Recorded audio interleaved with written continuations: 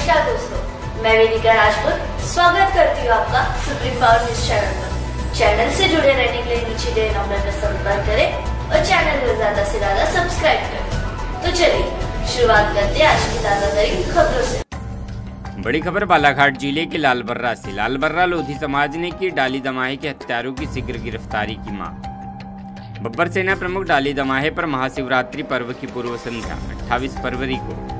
कालीपाट मंदिर से शिव बारात जब सिद्धपीठ शंकर घाट की ओर बढ़ रही थी, तभी शुरुआती दौर में ही रास्ते में कहासुनी की घटना हुई, जिसमें विहिप के प्रांत मंत्री ललित पारधी और डाली दमाहे के बीच कुछ देर कहासुनी का दौर चला।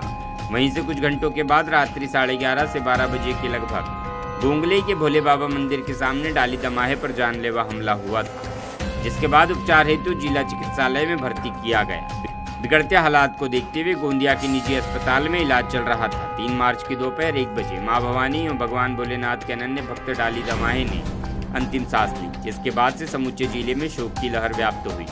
और इस कातिलाना हमले में लिप्त सभी आरोपियों की शीघ्र गिरफ्तारी की मांग उनके समर्थकों एवं परिवारजनों द्वारा की जा रही जिनका अंतिम संस्कार हज़ारों की संख्या में शामिल समर्थकों एवं नाते रिश्तेदारों की उपस्थिति में चार मार्च की दोपहर गमगीन माहौल में किया गया। प्रीम पावर न्यूज़ के लिए लाल बर्रा से लकेश पंचेश्वर के साथ शरद धानेश्वर की रिपोर्ट। जी आपका परिचय? देवराज ठकरेल जैसा कि डाली दमाही जी की जो हत्या हुई है उस मामले में क्या राय है आपकी?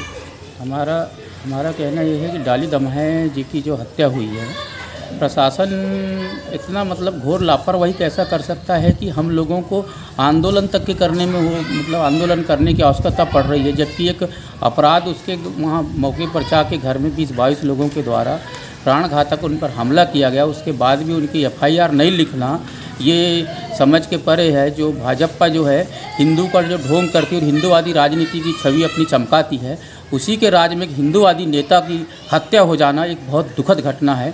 और फिर भी है तो हमारे जो बीजेपी की जो लीडरशिप है आज तक मौन है ये समझ के परे है जी आपका परिचय? मेरा नाम दुलीचंद नकपुरे ग्राम जाम पूर्व जनपद सदस्य। जैसा कि डाली दमाहे जी की जो हत्या हुई है उस मामले में क्या कहना चाहेंगे आप? डाली दमाहे जी की जो हत्या हुई है उसमें जितने भी अपराधी दोषी पाए जाते हैं उनकी गिरफ्तारी होना चाहिए और